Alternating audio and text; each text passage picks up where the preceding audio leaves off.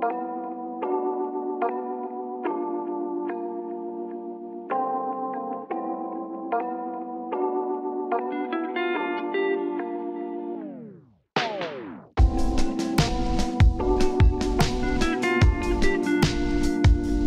guys, welcome back to the Bucket Think Tank, another round of Comic Corner.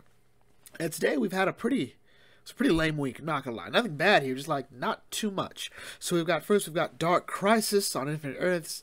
Um, it's a one-shot war zone, and what this story really is is just a bunch of hey, here's what else is going on in this story. A bunch of other small stories. None of them are really bad, but this really just felt like a sort of padding. Like the first story is um, Linda and Iris, you know, meeting up on the battlefield. And, you know, just find time like talking to each other. Like, hey, I was like, Linda, wh- where you been? Like, oh, well, we went looking for Barry. And, you know, superhero shenanigans, you know, en- ensued. And, um, yeah, he and Wally are on their way back at some point. Um, um, yeah, so they just spend their time. It's actually a really fun story, just seeing the two of them talk to each other and, you know, protecting these two kids and trying to get them to safety. That's really fun, but it's a short story. It's not really that worth talking about uh, in depth. There's not a lot of going on other than, hey, let's save these two kids, which is great in itself. And of course, it ends with um, the Justice League showing up, you know, with the Green Lantern Corps, and that's cool. The next one is a story with Jim Corrigan. And the premise here is Jim Corrigan was just minding his own business, driving around, going off somewhere for a little vacation, and lo and behold, the world goes to hell. And like, yep, sounds about right for my life. Sounds about right for my life. Oh, look at that. Hang on, hang on. Nice. Uh, but anyway, anyway, anyway. Uh, he sees a Raven fighting an enslaved Spectre. I'm like, oh, that guy. Because for those of you who don't know, Jim Corrigan was the host for the Spectre for a long time. The two of them have a long history. He's been freed from like, okay, cool, I can just be me now. But then he sees that the fact that Spectre is, of course, enslaved. You know, God's vengeance is enslaved and fighting Raven. And he points out that this is not like the Spectre. The Spectre is usually, you know, impassioned. Like he doesn't do this because he enjoys it. This this Spectre here, who's enslaved by the Dark Army, is enjoying the torment, enjoying the pain he's inflicting. It's like that is not how the Spectre is supposed to be. So he ruins his life again by becoming the host again for the Spectre. But now the battle begins again. And I like the name of the story is just when I thought I was out. He's pulled back in. And I- like that. I like that. Um, Raven just sort of happens to be there, and sort of like, hey, this is the person that um, Etrigan's fighting, that um, the Spectre's fighting, which I think works. You know, sort of sells the idea that hey, Raven can to some extent hold off the Spectre, but not really. Um, also, the fact that you know the Spectre wouldn't fight Raven, like Raven hasn't done. Like I'm God's vengeance. What is what has Raven done? Her dad, yeah, but she's not a dad. Like her entire story is pretty much you know trying to not be her dad, but whatever, whatever. So that's all right. And we have one with the Amazons, which really just meant nothing. It was like the Amazons talking about, like, hey, you know, we're always ready for war and whatnot. The Amazon way. We had Nubia, Diana, and Yara Flor fighting in front of the Hall of Justice. That was kind of it. All we really found out at the end was that and another one of the Amazons' um, uh, uh, paradise is like, oh, we had a vision. Deathstroke is doing a thing with the Dark Army. I'm like, oh, so you're telling me there was a part of the Amazons already knew about this? Remember how I said before that this entire thing felt like it was trying to be Infinite Crisis, although it's calling itself uh, the, like the sort of successor to Crisis on Infinite Earths? It really wants to be Infinite Crisis because this, again, like this feels like a bunch of events that should have been set up throughout the course of DC. You know, like you know, had but of course remember we would go and go to Rebirth into Doomsday Clock, and that would set up Future State, and all of that just kind of fell apart. And I don't know, I don't know. Maybe we should have seen the Future State thing through to its logical conclusion, which probably would have still been this, but would have been better set up. I don't know. That's just my opinion. But anyway, anyway, going. F- and the last one is actually I think a really good one. It's the Green Lanterns. It's Jo and Guy trying to hold off the the darkness, and it's a really cool scene because it really is just the two of them, and Jo wants to pull back. She was like, "Let's retreat now," and you know, but God and Guy's like, "We can't retreat. There is no retreating from this. This is the end of days fight. If we retreat, we lose automatically. All right, save who we can. No, we either save everyone or we save no one because there's no there's no second chances for this. So." Um, Jo gives off a really great speech that feels like she really watched Attack on Titan and really liked Commander Erwin. Um, yeah, it it was fun. It was fun. I think at the end it was really great too, because both Jo and Guy give each other props. Like, hey, um, guys, like you did gave a great speech, but like you motivated me, to, and she's like, you motivated me to keep going anyway. So they sort of were able to work together.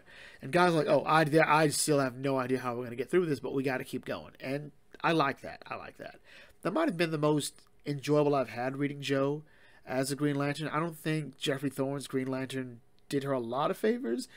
Um, and her Far Sector book, uh, I, uh, I like elements of Far Sector. I just don't like Far Sector in its entirety. Overall, this story. Oh, we got one more. We got. I totally forgot. So, um, Red Canary meets Black Canary. That's this entire story. They arrive back there, Red Canary fangirls because she based her whole costume and aesthetic off of Black Canary. She saw her perform one day, and then there was like a robbery at a music store, and she like, hey, beat the dude with the guitar, and she like, I have to play the guitar, and I, and I want to be a crime fighter. That is it. And honestly, that's nice in itself. This sort of legacy that heroes inspire. Who comes after Dinah? Like Dinah followed in her mother's footsteps to become Black Canary, but who's going to follow after her? Conceivably, I think her kids are going to want whatever kid she has with Ollie will want to be Green Arrow. Um, presumably, I don't know. Maybe, maybe not. Or I don't think she plans to have kids. Like you know, she's got Roy, and there's that random kid from Birds. I don't remember. I don't remember. And of course, there's um, Roy's kid, you know, I think she'll she's bonded with that one too. Like she doesn't really need actual kids. So you know, who knows? Who knows? Overall, though, this story was more just um, finding out a bit more about Red Canary, and she's all right. She's all right. Um, there was really not much to the story other than like, hey, this is the legacy. Yeah, we got it. She was inspired by Black Canary, which we all knew, but there's sort of a reason that. And it's weird that her canary oftentimes looks like a bat signal which is just sort of hilarious to me. And finally, well, let, let, us go. Let, us go to the to summary. So that was it for the first one. And again, this book was all right, but it really felt like we were padding padding this event up. Um, the stories were, I think, all good. The Amazon one was that forgettable. It's just like the Amazons, we do this, we do that, we do this. Like there's no struggle, no back and forth. There's no POV character we get to sort of ingrain ourselves with. So, yeah, yeah, that was kind of it. And finally, we have, well, finally, we only had two books. Um, we have Batman 130 continuing the failsafe story. And the failsafe story is still kind of bonkers. Also, Batman is more hacked than I ever thought he could be. So if you recall last time we saw Batman, he was floating through space. Uh, he's like, oh crap, oh crap. So here, he is finding a way to land from space into the into the Arctic for the Fortress of Solitude. That is it. So he's in space. He grabs uh, an oxygen tank. Okay, this this plane here still has oxygen. All right, so he's got like 12 hours of oxygen left. So he uses that to slightly um, boost himself into Earth's atmosphere without burning up. I'm like, oh, I'm not sure that any of this is scientifically accurate.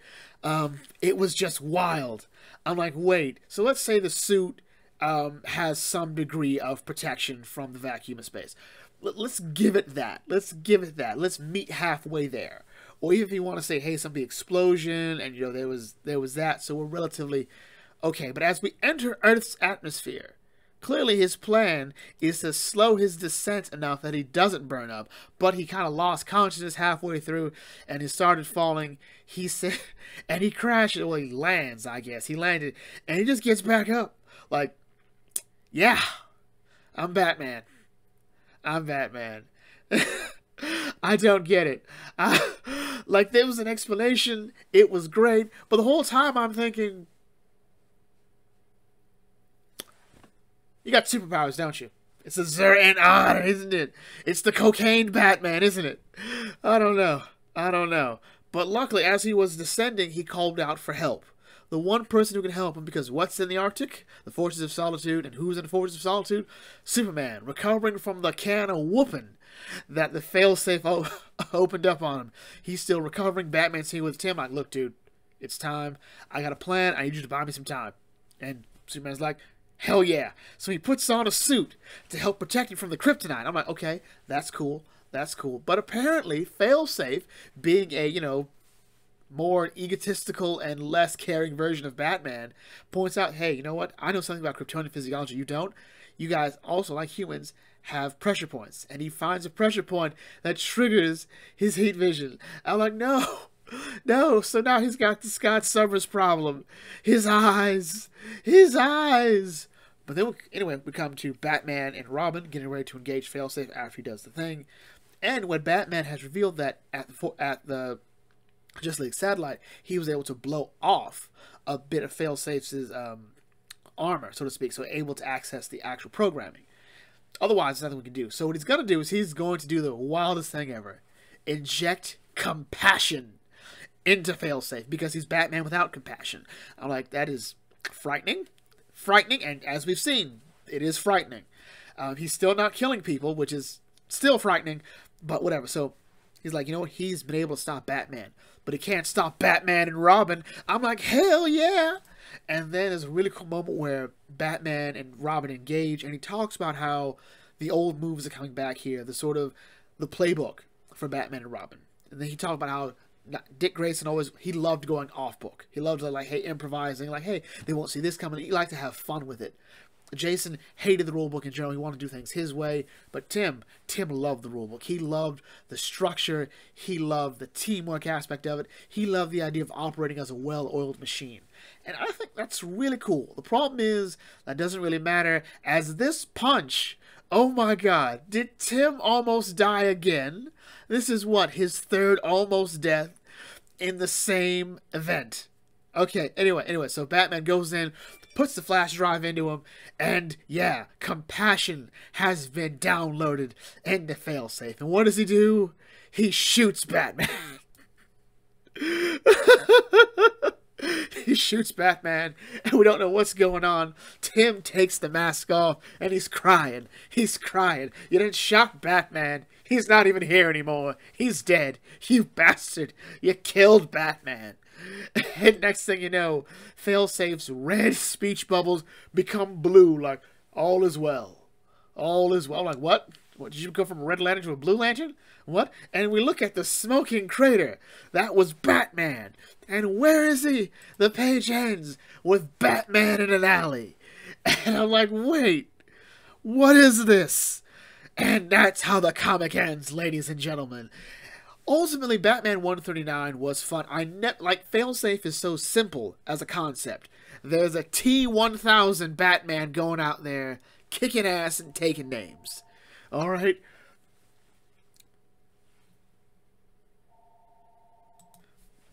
and he's been unstoppable every time we think batman has a plan he stops it. Why? Because this is Batman without the idea of like we have to protect like the team or we actually have to neutralize. No, no, this entire premise of Failsafe is that Batman has messed up and he must be stopped. So what's Batman going to do? Well, Batman will eventually call upon his friends, all right? The Robins, the Batgirls, the Duke Thomas, Signal is his name.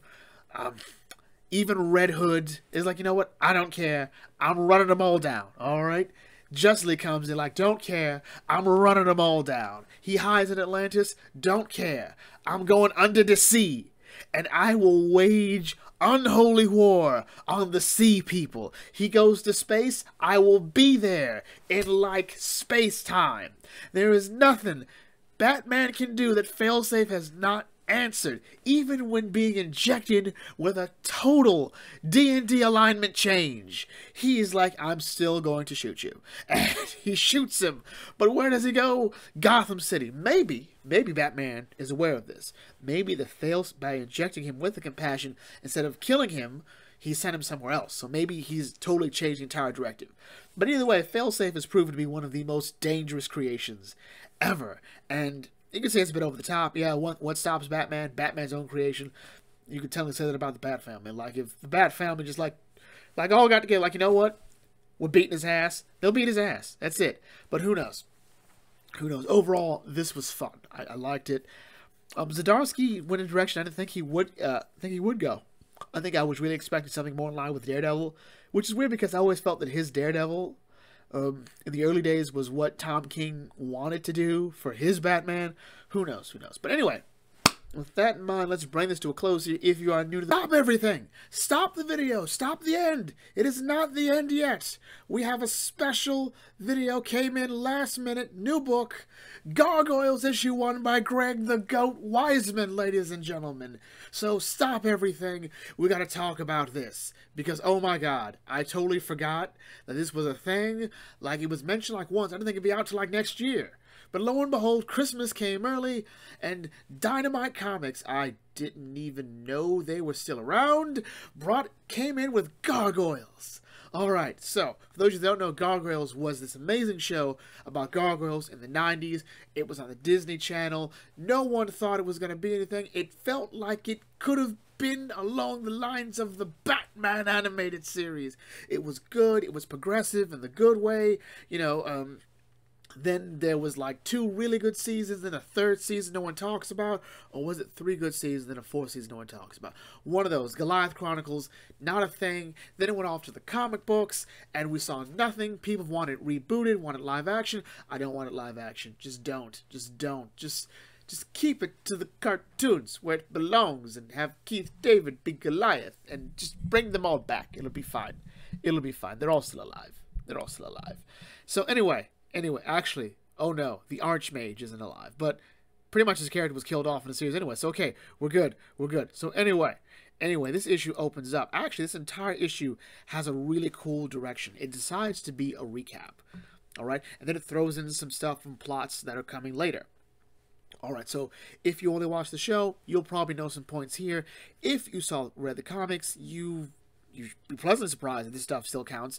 And if you didn't read the comics, well, yeah, luckily there's a page like explains, hey, what this is. So anyway, it's your standard gargoyle episode. Hey, a thing has happened. What are we going to do about this thing? All right, well, send the gargoyles. Who needs the police? They kind of suck at their job. My gargoyles come in, boop, boop, doop, do what they do best. And, um, yeah, yeah, we think it'll, we go to um, uh, Castle Wyvern. Well, Castle Wyvern on top of Xanatos's uh, massive empire building, and yeah, Elisa is narrating this, and yeah, the first Goli- the first gargoyle we actually come face to face with with Elisa is Goliath, and they mention, hey, yeah, this is Goliath. You know, he as the leader of the Manhattan Clan. He's also my boyfriend, and um, yeah, it's weird. All that matters is that's still canon. And then the rest of them show up. All right, so Brooklyn who everyone probably remembers if you watch the show, is Goliath's second in command. There was a whole episode about him becoming that, and a fun little story during the Avalon arc, where Brooklyn had to sort of step into that role temporarily, and then in the Goliath Chronicles, where he had to sort of find his confidence again and sort of to be a leader. He's done it multiple times.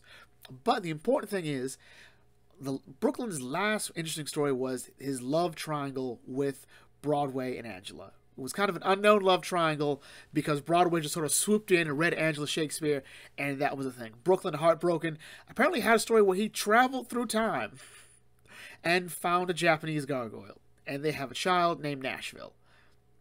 So yeah, that's cool. That's cool.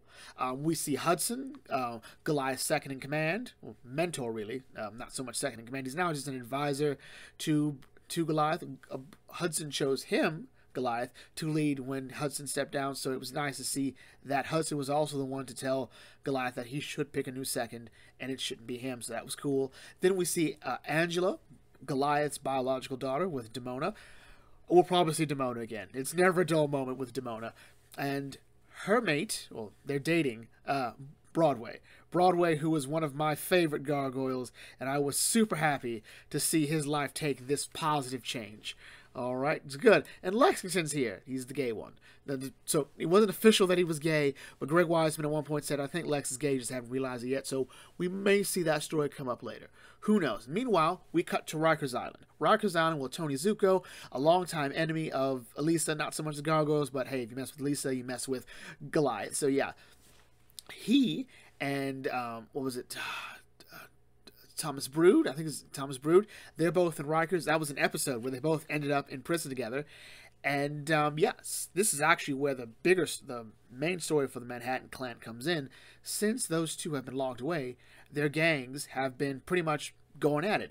A power vacuum has been created, and now it's just leading to gang war after gang war. This was, I think, a logical conclusion. This is sort of why characters like the Kingpin and the Penguin tend to not really get taken in because they do regulate crime in a, in a way, especially Penguin.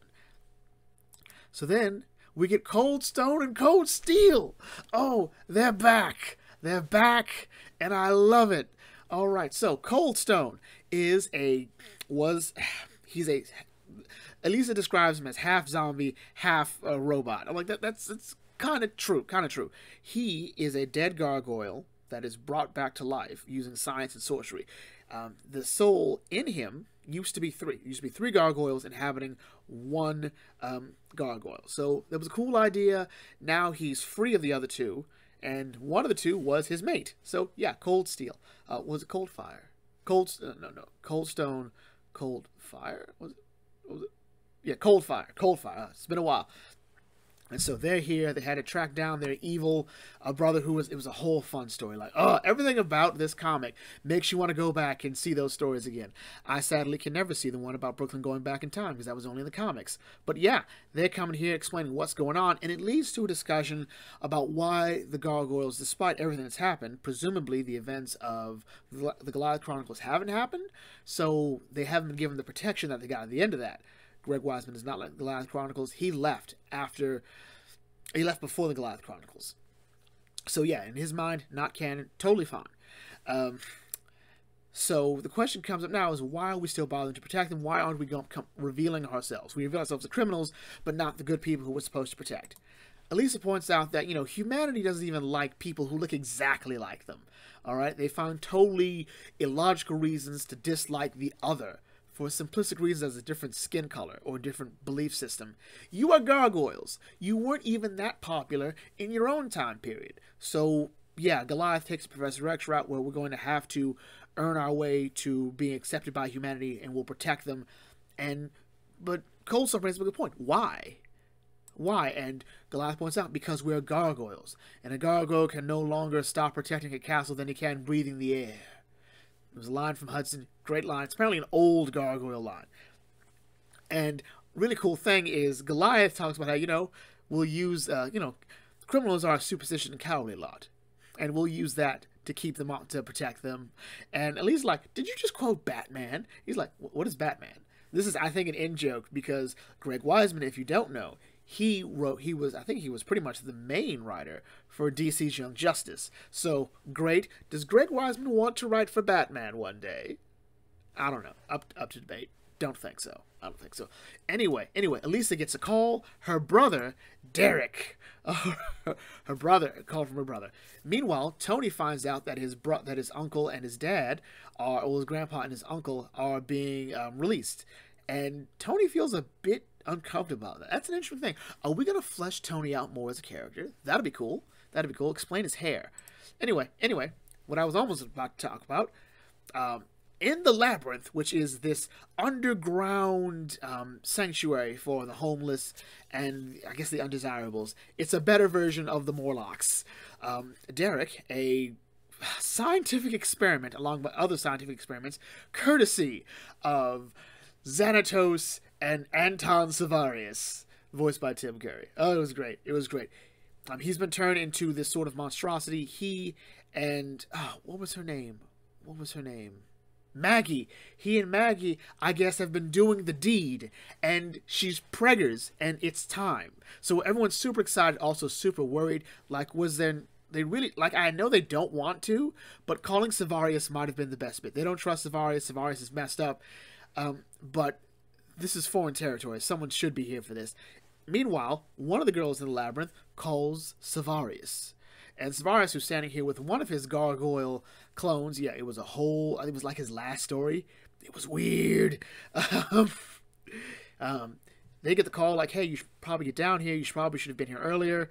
Uh, and turns out Sevarius is working for Thailog, an evil clone of Goliath, courtesy of Sevarius and Xanatos. And Thailog has done so much stuff to Goliath. He even hooked up with Goliath's ex, and then dumped her for a clone of Goliath's daughter and his new girlfriend, Elisa. It was weird. Thailog is messy, and I love him for it. It's also the name of a character I'm working on for something else, something else entirely. But anyway, anyway, so then we go from there, and the comic ends with all of them going to sleep for the day because I don't think I, I've totally forgot. If you don't know, gargoyles in this universe they're stone by day, they turn to stone, and by night they are ah yeah, it's really awesome.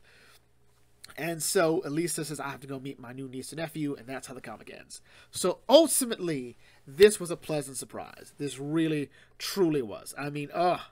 I'd wanted Gargoyles back in some form or another. And was this what I wanted?